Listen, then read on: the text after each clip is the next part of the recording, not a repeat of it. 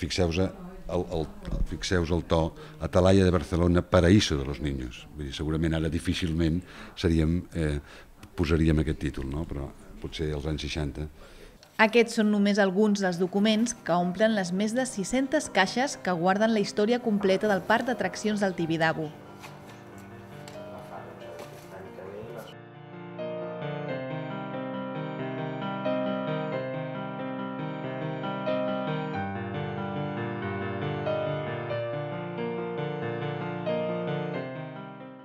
Textos, fotografies, postals, cartells i també alguna pel·lícula en 16 mil·límetres. Tot aquest material s'ha catalogat i s'ha portat fins aquí, a la Casa de la Vila de Sarrià Sant Gervasi, a una sala habilitada amb les condicions de temperatura i humitat adequades per a la conservació de tot aquest fons documental.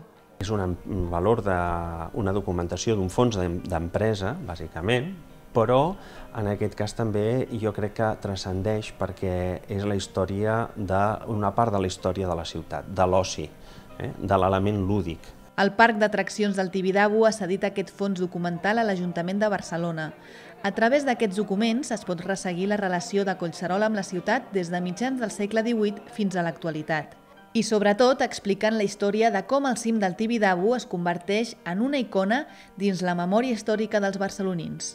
Bona part eh, de la història de la ciutat de Barcelona dels últims 100 anys doncs, eh, està reflexada diguem, justament en aquest arxiu històric des de la forma de vestir-se la gent fins a la forma de divertir-se, fins a aquest espai d'alegria, de pedagogia, d'oci que, que significa i que ha significat històricament el Tibidabo. Recuperar la memòria i és un deute que tenia la ciutat respecte a la ciutadania amb una cosa tan emblemàtica com el Parc del Tibidabo, el Parc del Tibidabo, eh? anem al Parc del Tibidabo, i pels estudiosos, evidentment, poder tindre documentació de primera mà, és el que es diu eh, documentació primària per poder eh, concretar i, eh, i assegurar una mica tots els processos que s'han fet a la ciutat.